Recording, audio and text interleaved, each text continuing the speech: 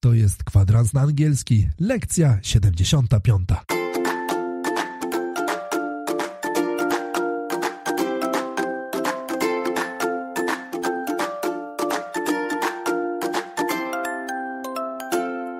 Good morning, everybody. You're listening to Kwadrans na angielski, a podcast which teaches you English. Witajcie w naszym podcaście. My name's Ania and I am learning English with you. How are you doing today? I'm a little bit sick again. I'm sorry to hear that. Shimon, what's the plan for today? We are going to go shopping and talk about Black Friday. Black Friday? Czarny piątek? Okay, I'm ready. Let's begin. Zaczniemy sobie od drobnej powtórki odcinka remontowego, jednego z moich bardziej ulubionych. Moich też. W końcu jesteśmy ekspertami. Coś, coś o tym wiemy. I dużo, i, znaczy dużo. I pojawiła się część komentarzy, na, na które musiałem odpowiedzieć. Niemniej jednak, powtórka, bo dzisiaj czas nas nagli. W ramach powtórki ja poproszę najpierw o wyraz, podam go po polsku i poproszę ciebie o przetłumaczenie na angielski, a potem dobierzemy sobie czasownik do tego rzeczownika. Czyli co Okej. możemy z tą rzeczą zrobić, ok? Dobra. Zatem Aniu, jak powiesz po angielsku ściana? Wall. Wall. I powiedzmy, że chcemy pomalować tę ścianę. To jak powiesz pomalować ścianę? Paint the wall. Paint the wall, good job. A jak powiesz kafelki? Tiles. Tiles. I co możemy z kafelkami zrobić? Lay the tiles. Lay the tiles. Well done. A jak powiesz parkiet? Mm, par parquet? Nie. Parquet. Parquet. Okay. Parquet. And what can you do with a parquet? Hmm. I can restore the parquet. Good job. We can restore the parquet. And the last one, zamek. Taki w w drzwiach. Luck. Aha, Lock. Luck. Okay. Luck to szczęście. Szczęście, tak. Dobra. Um, I uh, what can we do with a lock? We can change it. Change the lock. Bravo. Zacznijmy sobie może od tego, co to jest Black Friday, Aniu. Black Friday, no jak wiecie, jeżeli jesteście takim freakiem zakupowym jak ja, hmm, e, to wiecie, że to jest największa chyba zniż, to są największe zniżki chyba, tak? W roku. Ja bym powiedział, że w teorii, W teorii. ale tak, jest. zgadza się, zgadza się. Um, I kiedy wypada Black Friday? Mm, piątek po święcie dziękczynienia. Pięknie, jest to zawsze piątek po święcie e, dziękczynienia. Świętem dziękczynienia zajmiemy się za tydzień. Spoiler alert. Czekajcie. Tak, natomiast Black Friday w tym roku przypada nam na 29 listopada 2019 roku, jeżeli słuchacie tego odcinka dużo później. tak, Jak jeżeli... powiemy po angielsku? 29 listopada 2019 roku. 29 of November. Very good. And the year? Oh, 2019? 2019 or 2019. 9. Both will be correct. Pięknie. No dobrze, czyli wiemy, że jest to piątek, czarny piątek. Teraz czarny piątek nie brzmi zbytnio pozytywnie. Chyba Wręcz dlatego w. Polsce, jak zauważyłem po reklamach w radio, nie tłumaczy się Black Friday, okej. Black Friday, prawda? No, to się kojarzy raczej ze śmiercią. To prawda, kojarzy się tak negatywnie, bardzo. Więc skąd pochodzi ta nazwa? Tutaj kawałek historii, usiądźcie wygodnie. Otóż poznamy dwa wyrażenia. Po pierwsze, to będzie wyrażenie in the red. In the red. In the red. In the red. Dosłownie to oznacza Na czerwonym. na czerwieni. Tak, na Mhm. czerwono w czerwieni. E, I jeżeli mamy księgowość, to właśnie czerwonym kolorem zaznaczało się ujemne stany w księgowości. Czyli jeżeli nasz stan konta był na minusie, to księgowość odnotowywała to na czerwono. Natomiast in the black, In the black. in the black In the black. wpisywaliśmy już dochód, tak? Czyli jeżeli byliśmy na plusie, to w księgach on był zapisywany właśnie czarnym atramentem. Okej. I stąd właśnie jest nazwa Black Friday. Oficjalnie i najczęściej powtarzana historia głosi, że po całym roku pracy pod kreską to tego dnia sprzedawcy detaliczni wreszcie wychodzili na plus, sprzedając przecenione towary. Jednak jest to wersja mało prawdopodobna. Jest ona raczej propagowana przez marketerów. To chcieliby, żeby tak było. Jeżeli chcecie poznać inne wersje tej historii, to zajrzyjcie do materiałów dodatkowych z tej lekcji. Dodam jeszcze, że w internecie popularne stało się jeszcze jedno święto Cyber Monday, czyli cyberponiedziałek, gdzie przeceny stosowane są do zakupów online. To właściwie to dla mnie powinno być, bo ja wolę robić zakupy online. Dzisiaj zmuszę cię troszkę do innej wariacji, ale ja pamiętam. Dzisiaj muszę iść do sklepu, okej, okay, dzięki. Dzisiaj będziesz musiała iść do sklepu. Okay. Dobra. A więc, a czy ty lubisz robić zakupy w tym okresie? Drogi słuchaczu, do you go shopping on Black Friday or Cyber Monday? Let us know by sending an email. Skoro Black Friday to wyprzedaże, to poznajmy nieco wyrażeń związanych właśnie z tym wydarzeniem i pieniędzmi. Po pierwsze, y, czy kojarzymy wyraz promocja? Jak powiemy promocja po angielsku? Czy to promocja, ale promocja w sklepie, tak? No, że to kupiłem na promocji. Sale. A nie promotion? Nie. No właśnie nie. Bardzo ładnie. To jest tak zwany fałszywy przyjaciel, false friend, wyraz, który wydaje nam się, że oznacza dokładnie to, co chcemy, a tak nie jest. Sam wyraz promotion po angielsku oznacza promowanie czegoś, jakby rozprzestrzenianie jakiejś idei czy wydarzenia, tak? Ale nie dotyczy To też właśnie... promocja, tylko promocja treści, jakiś w sensie nie promocja, że tak. dostaniecie zniżkę, o tak. Tak, tak, tak, tak. Kupicie coś za mniej. Dokładnie tak. Także będziemy używać tego wyrazu, który Ania powiedziała. Jeszcze raz Aniu poproszę. Sale. Sale. I to będzie? Promocja. Tak, tudzież wyprzedaż. Wyprzedaż, dokładnie. Tak, promocja ty, czy wyprzedaż. Super. Jeżeli coś jest na wyprzedaży, albo kupiliśmy to na wyprzedaży, to powiemy on sale. On sale. On sale. On sale. Na przykład ta sukienka była na wyprzedaży, to będzie This dress was on sale. This dress was on sale. Great job. I teraz oczywiście dokopałem się, e, że on sale w brytyjskim angielskim będzie oznaczało, że coś jest na sprzedaż. Czyli jak masz na przykład dom na sprzedaż, tak? Dokładnie tak, dom na, albo że ten artykuł jest jakby w sprzedaży, tak? Że mamy, okay. nie wiem, ser camembert w sprzedaży, no to camembert is on sale. Mhm. Tak, czyli to, co Amerykanie oznaczą jako for sale. sale. For sale. I często w filmach i serialach widzimy te tabliczki tak, przy domach. Tak, właśnie stąd mi się kojarzy. Że jest for domy. sale. Brytyjczycy powiedzą on sale, a jeżeli coś było na wyprzedaży, to Brytyjczyk powie in the sale. In the sale. In the sale. In the sale. Czyli ta sukienka była na wyprzedaży, po brytyjsku powiemy This dress was in the sale. Bravo, good job. No dobrze, kolejny wyraz przydatny discount. Discount. Discount. Discount. Słówko to oznacza? Promocję, w sensie promocję, nie? Jakąś konkretną zniżkę. O, o, o, zniżkę, tak. Czyli na przykład ta sukienka miała 30% zniżkę. Spróbujmy zbudować takie zdanie. This dress had a 30% a discount. Nie a discount. 30% discount. Good. This dress had a 30% discount. Good One more job. time. Yeah, please. This dress had a 30% discount. Good, good job. Ok. Możemy też oczywiście coś kupić po zniżce, tak, po mhm. cenie obniżonej i wtedy powiemy buy at a discount. Buy at a discount. Buy at a discount. Buy at a discount. I znowu załóżmy, że kupiliśmy tę sukienkę po zniżce. Sukienka. Dobra, dajemy. I bought this dress at a discount. I bought this dress at a discount. Good job. Anya, do you like wearing dresses? Mm, not so much. Not so much. No, not really. I'm sorry. Mój scenariusz założył, że kupujemy dużo sukienek.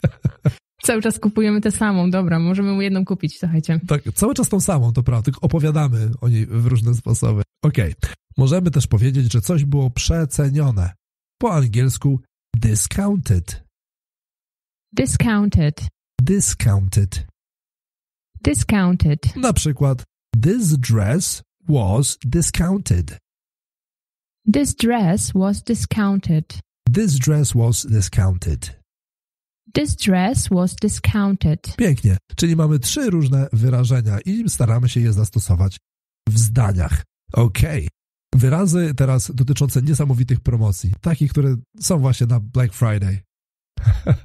Przy okazji, jeżeli o takiej wiecie, to dajcie znać. Dokładnie, poinformujcie nas. Okej. Ten wyraz to bargain. Bargain. Bargain. Bargain. I bargain oznacza, że coś było bardzo korzystną ofertą. To właśnie, właśnie to jest taka okazja, nie? Ja teraz powiem zdanie z użyciem przykładowe. This laptop was a bargain. This laptop was a bargain. This laptop was a bargain. This laptop was a bargain. Super. Jakbyś to przetłumaczyła? E, że ten komputer to była no, niesamowita okazja. W Tak, sensie, że no, nigdzie indziej bym tego nie kupił w takiej cenie. dokładnie tak. Czyli, że kupiliśmy coś dobrej jakości, powiedzmy, po bardzo dobrej cenie, nie? Czyli jeżeli tylko wartość danej rzeczy jest wyższa niż jej cena, to możemy powiedzieć, że it was a bargain. Okay. Albo that's a bargain. No właśnie, znowuż nie powiemy occasion.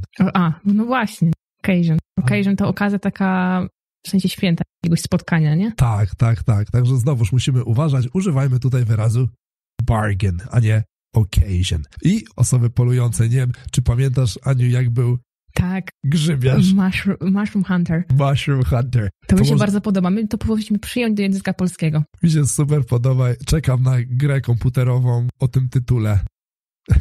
Jeśli, Kupuję jeśli, ciemno. słucha, jeśli słucha nas jakiś y, programista, który programuje gry, to poinformujcie nas, jeżeli będzie taka na rynku oferta. Mushroom Hunter. A tutaj można być właśnie bargain hunter.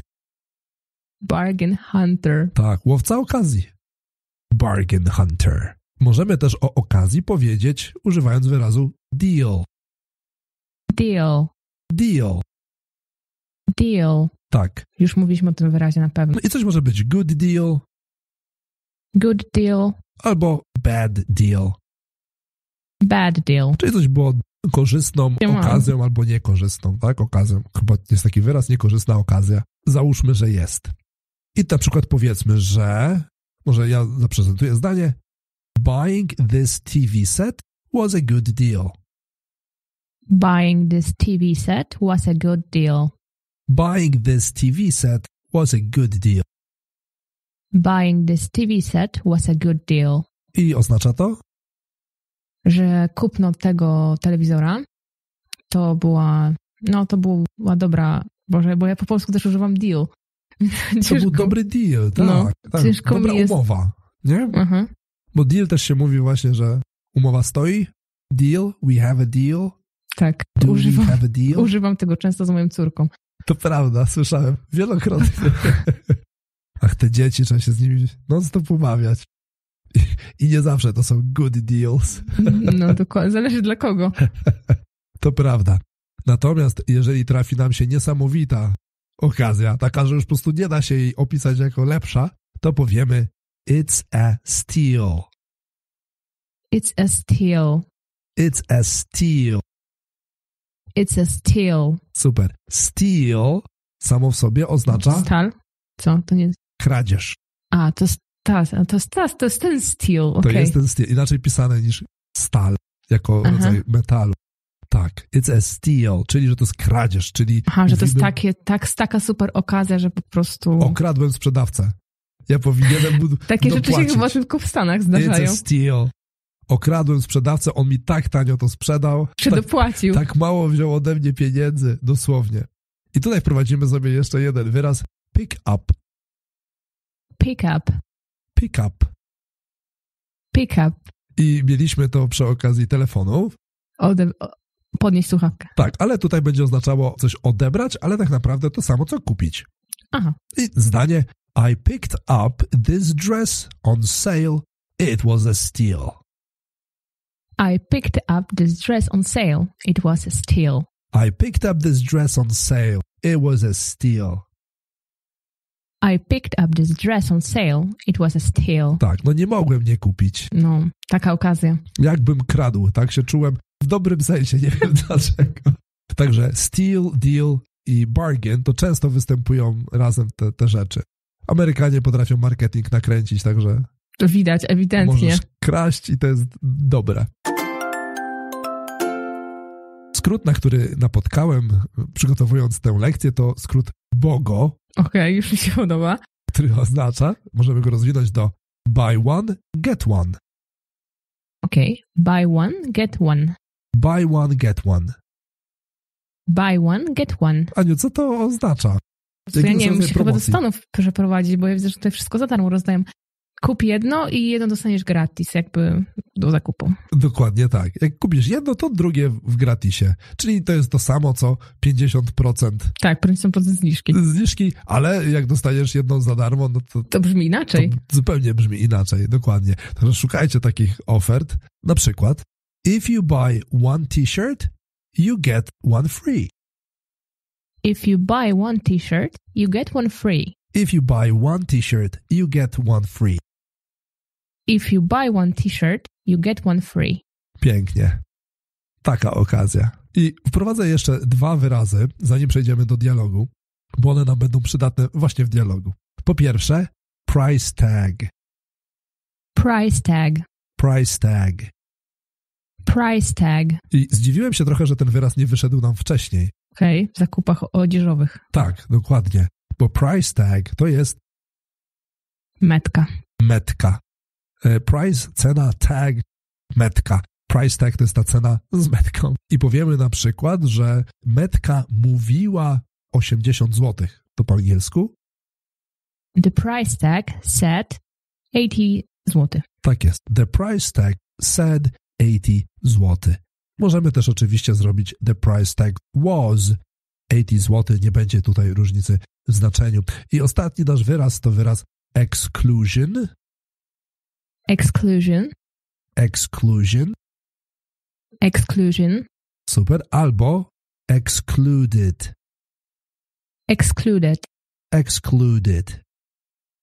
Excluded. Excluded będziemy częściej używać, bo jest przymiotnikiem Mhm. i oznacza, że coś jest wyłączonego. z Mhm. naszej promocji oczywiście, Tak. że to nie wchodzi w promocję, to będzie excluded. Więc powiedzmy, że t-shirt był wyłączony z promocji. The t-shirt was excluded from the sale. The t-shirt was excluded from the sale. Okay. Jesteśmy przy naszym dialogu. Wyobraźmy sobie, że Black Friday już nastąpił. Spotykamy się z Anią na kawę i rozmawiamy o naszych zakupach. Wiecie, dzień jak co dzień. Jak codziennie się spotykamy i rozmawiamy o zakupach. Dobra, dawaj. Więc pytania dla Was do dialogu będą brzmiały następująco. Po pierwsze, Co kupiła Ania i za ile? co kupił Szymon i z jaką zniżką? Czy Ania i Szymon są zadowoleni z zakupów? Wysłuchajcie i odpowiedzcie na te pytania. Hey Ania, how was your weekend? It was amazing. I bought this beautiful leather jacket on Black Friday. You did? Did you get a good deal on it? To be honest, it was a steal. The initial price was 200 zloty and I picked it up for 60. Nice. Right? And I got a t-shirt for free. It's nothing special, but still, it was free. And did you buy anything on sale? Well, I don't like the crowded shops on Black Friday, so I waited for Cyber Monday. Yeah, the shops were really crowded this weekend. Anyway, what did you get? Not much. I bought a couple of books for Christmas. The price was discounted by 20%, so I'm really happy about it. 20%? That's a real bargain. Unfortunately, I also wanted to buy the new Star Wars video game, but it was excluded from the sale. Oh, that's a shame. Maybe it will be discounted for Christmas. Fingers crossed. Mam nadzieję, że zrozumienie poszło Wam bardzo dobrze. Jeśli nie, to w materiale dodatkowym będzie też ten dialog przedstawiony. Zatem spójrzmy sobie na kilka ciekawych wyrazów. Po pierwsze, to be honest. To be honest. Było w odcinku 63. Oznacza? Szczerze mówiąc. Szczerze mówiąc, wyśmienicie. I teraz nowe wyrażenie. The initial price. The initial price. The initial price. The initial price. Super. Co to może być initial? Wyjściowa cena. Pięknie, wyjściowa, tak jest. Czyli dzięki temu wiemy, czy dana oferta była dobra, czy nie. No znacie to, nie? Jak odkleja się te ceny z przecen, żeby sprawdzić. Moja reakcja na to, jak Ania powiedziała, jak tanio kupiła kurtkę, było nice. Co oznacza? Super, znaczy super, nie? Tak, po polsku mówimy tak super, nie? Ale, ale ekstra. A po angielsku właśnie nice. Chociaż nice oznacza ładnie. No ale kontekst Tak. nie możemy przetłumaczyć tego jako ha, ładnie. Szymon był podekscytowany, że taki, taką tutaj okazję znalazłam. Tak jest. I potem Ania z kolei mówi Right? right, które oznacza Prawda? prawda? Takie no nie. Ale intonacja jest super, super ważna tutaj. Tak. Dobra. I następnie mamy fajne wyrażenie eh, it's nothing special. It's nothing special. It's nothing special. It's nothing special. Czyli To nic specjalnego. W po polsku też tak powiemy, nie? ta nic takiego wyjątkowego, takie tam, eh, takie sobie. Okej, takie... It- e, It's no właśnie. special. E, takie sobie. I potem, ja używam takiego wyrazu opisując sklepy jak crowded. Crowded. Crowded. Crowded. I to oznacza Zatłoczony. zatłoczone. I dlatego Ania nie lubi Tak, ewidentnie. They're crowded. I ja kupiłem a couple of books. A couple of books. A couple of books. A couple of books. Co oznacza? Kilka książek. Tak, a dokładnie parę Okej. książek. Tak, bo, no tak, bo jak się mówi, że couple, to rzeczywiście to jest para. Tak, czyli tak naprawdę dwie. Dwie książki. Tak, bo para to dwie. Następnie pojawia się nam fajne wyrażenie unfortunately, Unfortunately. które oznacza Niestety. tak jest i było w lekcji 40, jeżeli chcecie przećwiczyć je dokładniej, oraz wyrażenie That's a shame. Oh, that's a shame. Które było w lekcji 51 i oznacza? Mm, szkoda. Szkoda, przykro mi, że się nie udało. I na koniec ja mówię fingers crossed. Podoba mi się ta intonacja. Fingers crossed. Pięknie. Z lekcji 48 oznacza Trzymam kciuki. trzymam kciuki, tak, oby się udało.